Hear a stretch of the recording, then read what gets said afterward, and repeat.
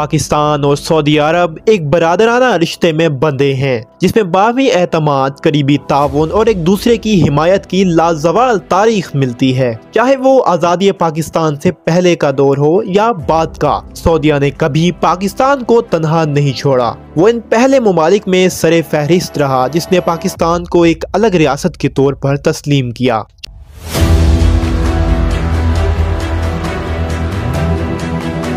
चाहे मीशत की बदहाली हो या पैंसठ और इकहत्तर की पाक भारत जंग का सिलसिला, सऊदिया ने हमेशा भरपूर ताउन किया। चाहे हो एटमी बम की वजह से पाबंदियाँ, सऊदिया ने साबित किया कि वो पाकिस्तान के साथ कदम ब कदम खड़ा है। सऊदी वली अहद का बताते खुद ये कहना कि इन्हें सऊदी अरब में पाकिस्तान का सफीर समझा जाए, दोनों की दोस्ती और मुस्बत ताल्लुकात को ज़ाहिर करता है।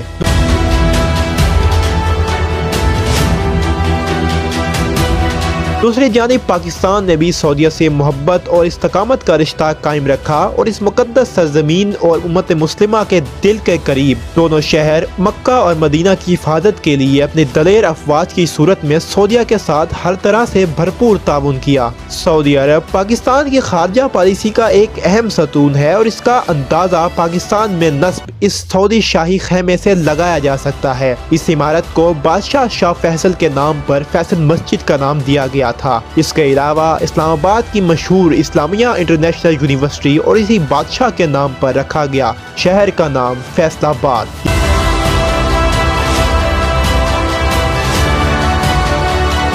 ये तमाम चीज़ें दोनों ममालिक की मज़बूत और गहरी दोस्ती का एक सबूत पेश करते हैं और इन ये ताल्लुकात और दोस्ती का रिश्ता यूँ ही हमेशा कायम रहेगा।